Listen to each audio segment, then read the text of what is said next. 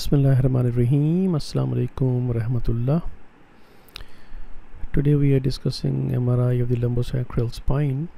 We have sagittal T2 weighted sequence and axial T2 weighted sequence.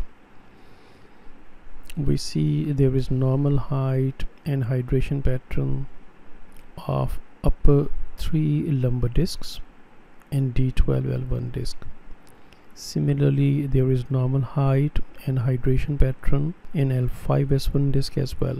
But there is mild disc dehydration in L4-5 disc which shows large size disc protrusion causing severe spinal canal stenosis posteriorly at this level with cardiac and nerve root compression.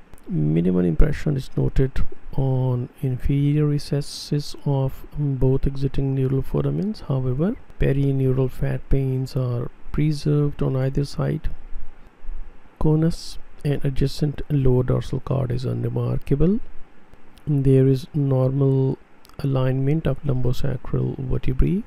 All lumbar and sacral vertebrae shows normal height and normal marrow signals end plates are intact and there is no MR evidence of discovertebral osteomyelitis.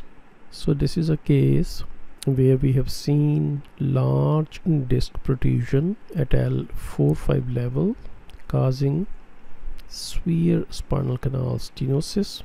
We can see and compare normal disc where annulus fibrosus and nucleus pulposus is normal and spinal canal lateral recesses nerve roots are normal.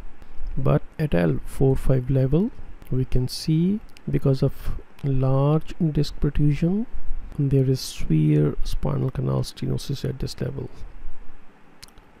Thank you very much. Assalamu alaikum warahmatullah